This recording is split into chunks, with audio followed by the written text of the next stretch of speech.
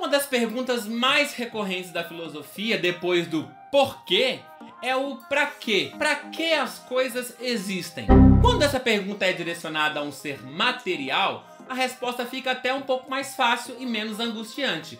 Mas quando a gente pergunta sobre si mesmo, ou sobre o universo, ou sobre o conjunto das coisas, por que, que a gente existe? Para que, que o universo existe? Existe alguma finalidade, uma função para todas as coisas?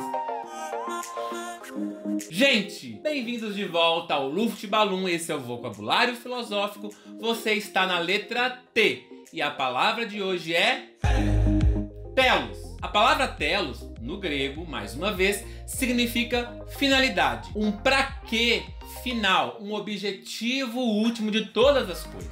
A maioria dos filósofos gregos acredita que todas as coisas que estão na, no universo, na realidade, desde a menor partícula ao maior objeto existente no mundo, ou por exemplo até um astro, todas essas coisas cumprem uma função, uma finalidade. Elas existem com algo a cumprir. Elas caminham existencialmente com uma objetividade, com uma finalidade, com uma causalidade final. Você vai entender isso em Aristóteles. Calma. Então, desde o menor grão de poeira ao maior astro, todos esses objetos materiais cumprem uma função, um objetivo, que seria qual?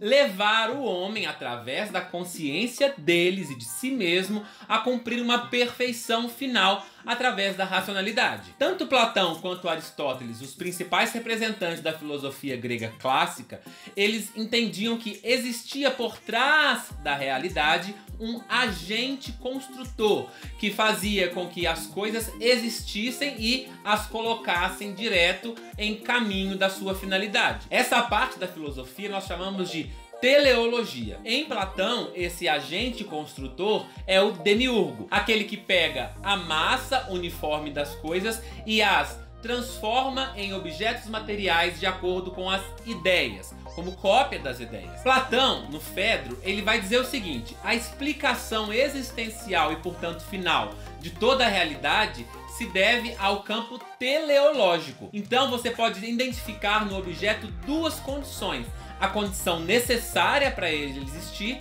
e a condição suficiente para ele se movimentar. Nesse caso, eu posso colocar aqui então o exemplo de um cachorro. A condição necessária para esse cachorro existir é toda a parte material desse cachorro.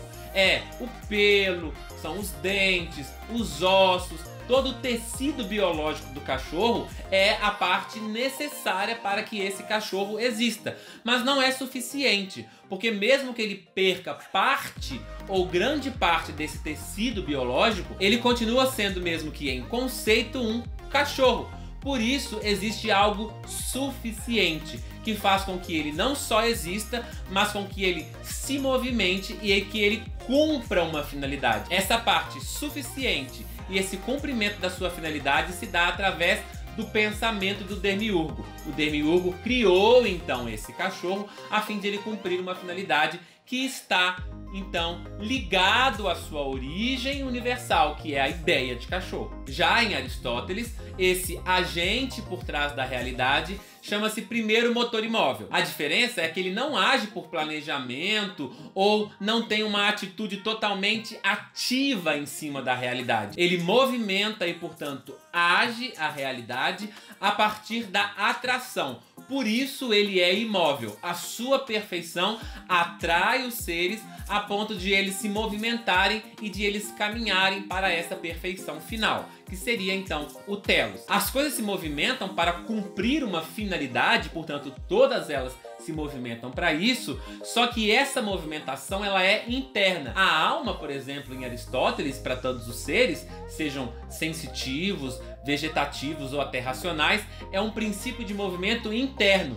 Não há nada fora do objeto ou do ser que faça com que ele se movimente. O que está dentro dele é que se movimenta. Portanto, ele cumpre uma finalidade de atingir a perfeição.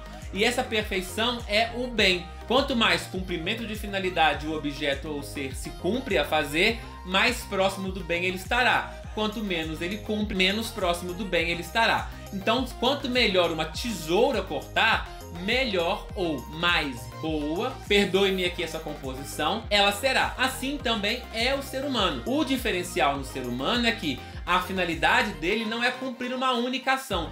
As ações dos seres humanos, desde a mais simples como acordar ou dormir, até alguma atividade racional, todas elas tendem a nos levar para uma finalidade que Aristóteles vai chamar de finalidade sem fim. Nesse caso seria a felicidade.